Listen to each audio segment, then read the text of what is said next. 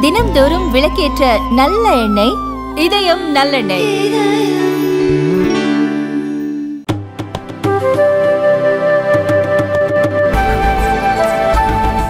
நெய்வேலியில் என்எல்சி நிர்வாகம் கையகப்படுத்தியுள்ள நிலங்களில் சாகுபடி செய்யப்பட்டுள்ள பயிர் அறுவடை செய்யப்படும் வரை விவசாயிகளுக்கு என்எல்சி நிர்வாகம் இடையூறு செய்யக்கூடாது என உத்தரவிடக் கோரி விவசாயி முருகன் என்பவர் சென்னை உயர்நீதிமன்றத்தில் வழக்கு தொடர்ந்தார். இந்த வழக்கை விசாரித்த சென்னை உயர்நீதிமன்றம் என்எல்சி கையகப்படுத்திய நிலங்களில் அறுவடையை முடித்து நிலங்களை ஒப்படைக்க வேண்டும் என்று கடலூர் விவசாயிகளுக்கு உத்தரவிட்டுள்ளது.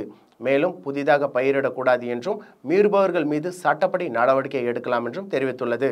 இந்த வழக்கை விசாரித்த உயர்நீதிமன்ற நீதிபதி சுப்பிரமணியம் தொழில் உட்கட்டமைப்பு வளர்ச்சி விவகாரங்களில் அரசின் கொள்கை முடிவுகளில் முந்தைய நில உரிமையாளர்கள் தலையிட முடியாது என்று கூறியுள்ளார். மேலும் இருபத்தி ஐந்து லட்சம் இழப்பீடு என்பது இரண்டாயிரத்து பதினான்காம் ஆண்டுக்கு பிறகு கையகப்படுத்திய நிலங்களுக்கு மட்டுமே வழங்க முடியும் என்றும் நீதிபதி சுப்பிரமணியம் தெளிவுபடுத்தியுள்ளார்.